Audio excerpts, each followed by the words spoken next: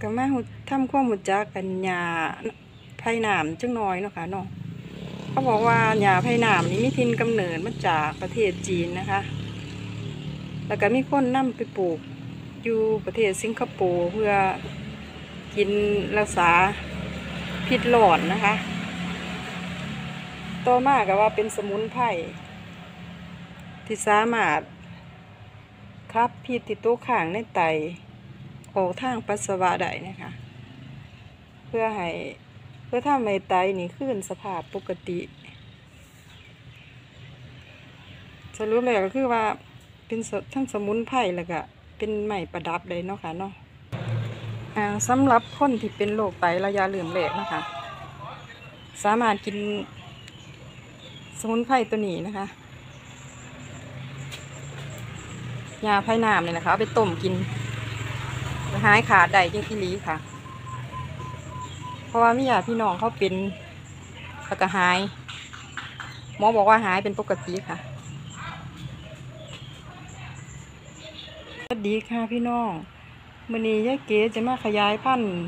ยาไผ่น้ำไว้เป็นสมุนไพรประจำครัวเรือนนะคะ นี่อยู่หนึ่งกระถางค่ะเพิ่นสิมาขยายพันธุ์ใหม่ได้หลาย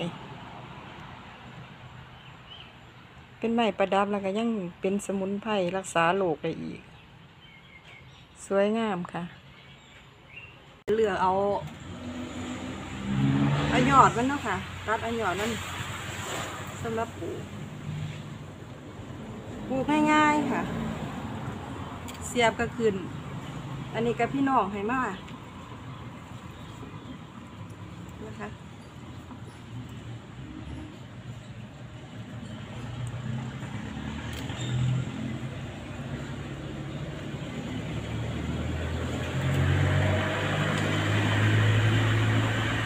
ได้พ่อกระถางหนึงแหละเนาะค่ะ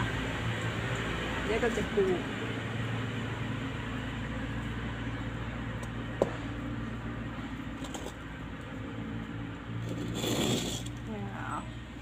จัดให้เข้าที่ก่อน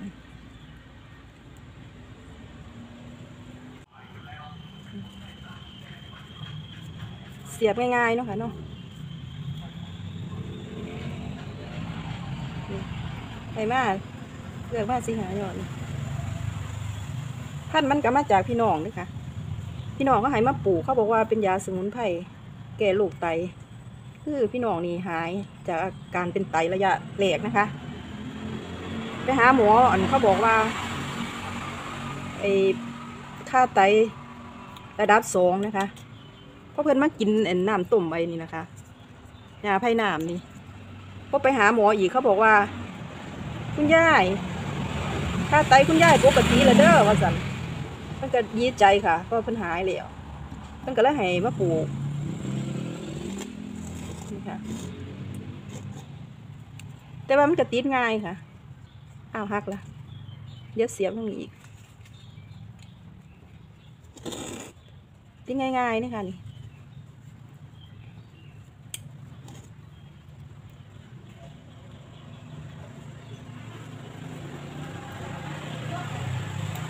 แล้วมาใส่อีกให้มันติ่มเนาะค่ะ